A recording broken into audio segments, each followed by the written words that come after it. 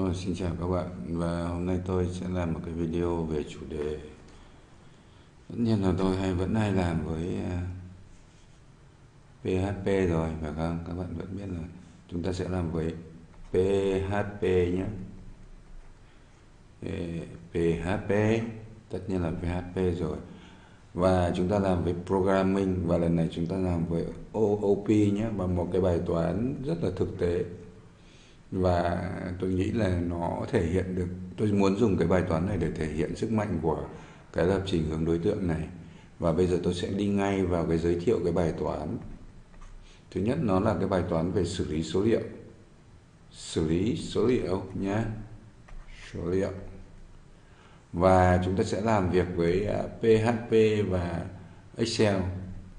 Excel nhé. Thôi được rồi, tôi biết tôi biết hơi chậm đấy các bạn ok PHP Excel và chúng ta sẽ làm, và bây giờ chúng ta sẽ quay sang nhìn Excel, chúng ta có cái file như thế nào? Đây là số liệu này. Số liệu của chúng ta các bạn nhìn thấy không?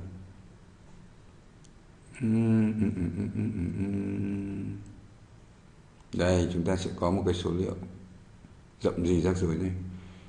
Bây giờ tôi sẽ nói về số liệu. Đây cho các bạn nhìn thấy không? Đây là các cái tỉnh Điện Biên, Lai Châu, Sơn La rồi Hòa Bình vân vân. Tôi có đầy đủ 63 tỉnh. Đây là cái số liệu số liệu nào đó mà các bạn không cần biết. Và trong một tỉnh thì chúng ta lại có ba cái bảng ghi nhé. Thí dụ Lai Châu này có ba bảng ghi.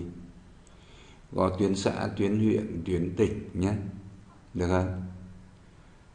Ờ, tất nhiên nó nó nó là cái ba cái dòng số liệu.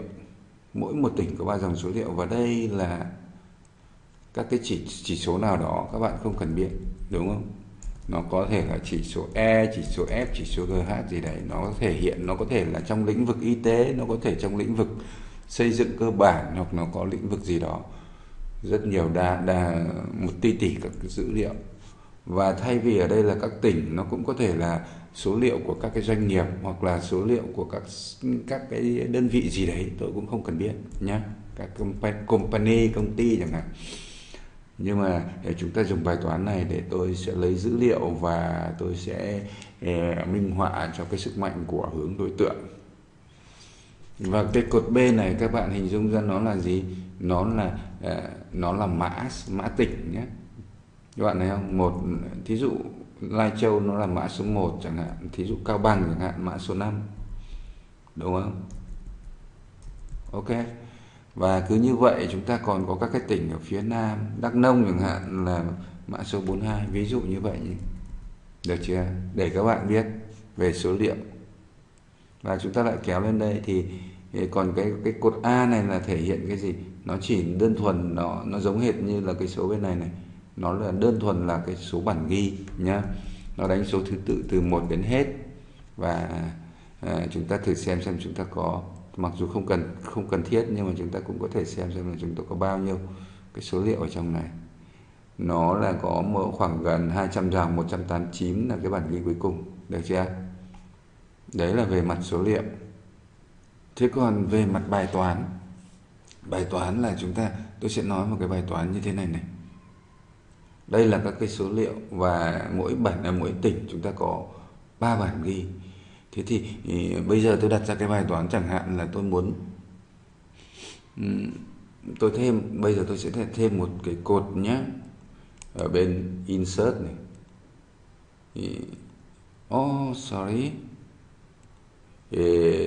Cái bài toán của chúng ta là gì? Tôi sẽ cố gắng ờ, tôi sẽ cố gắng trình bày cái bài toán một cách sáng sủa nhất. Chẳng hạn, chúng ta muốn thứ nhất là và tôi sẽ thêm một hàng vào đây nữa.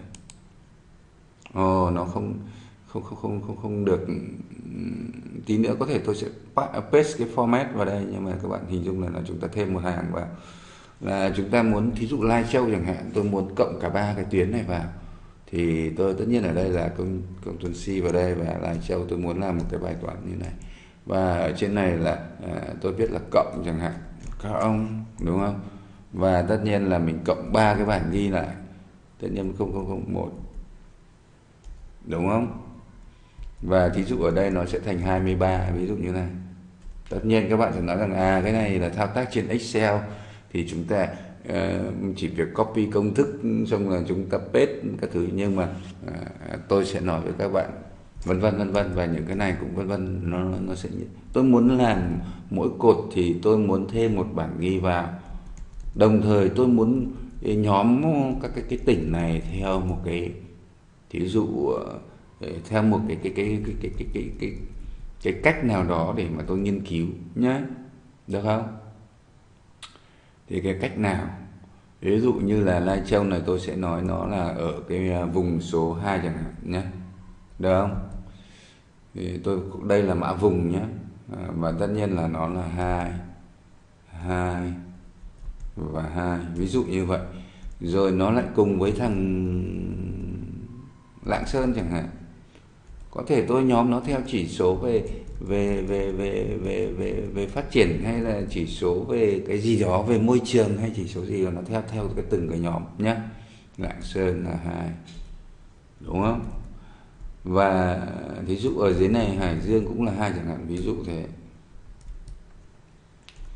nó có một cái tiêu chí đấy nào đó để người ta nhóm các cái thế còn thí dụ Vĩnh Phúc này chẳng hạn tôi lại cho nó ở vùng số 6 chẳng hạn hay vùng số 4 à, vân vân. Và tôi sẽ không làm tiếp cái việc đó bởi vì tí nữa tôi sẽ làm uh, nốt uh, và không để mất thời giờ của các bạn. Và cái như nhiệm vụ của chúng ta là phải tạo ra gì? Như vậy các bạn đã hình dung ra rồi. Cái bài toán và bây giờ tôi có thể hạ cái này xuống và tôi sẽ dùng cái bài toán này. Nhiệm vụ là là là là cộng. Tức là tạo một bản ghi có tổng cộng đấy thêm một bản ghi đấy đúng không? Bản ghi cho mỗi tỉnh. Mỗi tỉnh.